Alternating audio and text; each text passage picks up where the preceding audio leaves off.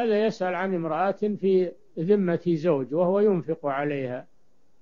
هل يجوز أن نعطيها من الزكاة؟ لا. ما دام زوجها ينفق عليها النفقة الضرورية الأكل و والكسوة والمسكن هو قائم بهذه الأمور هذه ما تستحق الزكاة. نعم.